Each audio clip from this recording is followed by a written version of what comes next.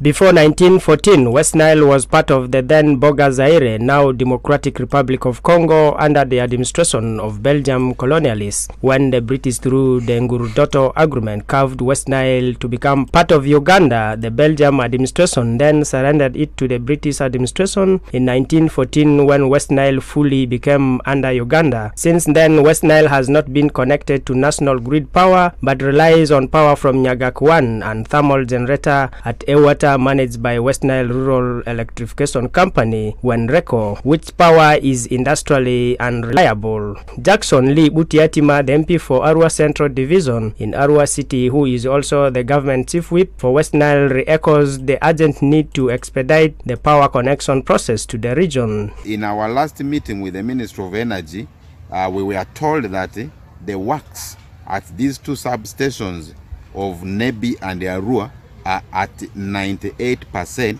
and actual technical technical officers already were on ground and technical work has been commissioned meaning the work is ready remaining with a few touches here and there.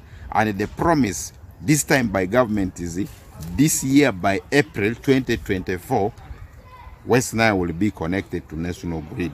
And when we try to dig further how will the substation feed the connectivity in the area, they assured us that already about over five lines have already been co connected. So meaning April this year, the region will be connected to national grid. This is a very big achievement. Rose Munduni, the secretary for Chamber of Commerce, Arua City, says for industrial development in West Nile and Arua City, there is need for stable power, which he believes will address the challenge of youth unemployment. The entire population of Arua City, the entire population of West Nile, in order to promote an aspect of industrialization which comes together with things to do with employment opportunities, we need very, very stable power. And the moment we have stable power, then it means that all the districts in West now will be able to come up with industries and we are going to become an industrial hub.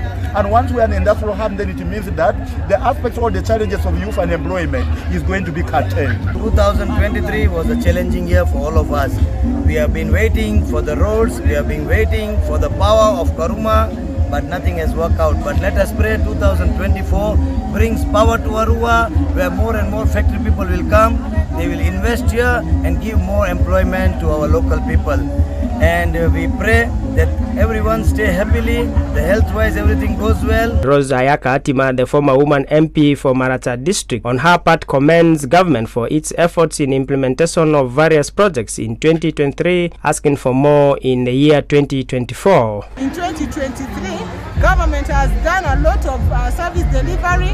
We have had projects implemented left, right and center, projects which are ongoing like the Emyooga projects which have been, introduced into 2023 like uh, uh, you know PDM parish development model which is intended to change the lives of the Wananchi and I know that people are making a lot of meaning in life via that project. Former Aivu County MP Bernard Atiku recounts the 100 million US dollars the 10th Parliament approved as a loan facility from the World Bank for connecting power to West Nile region, but wonders why the government has not lived to its commitment. A report compiled by Robert Ariaka for the news.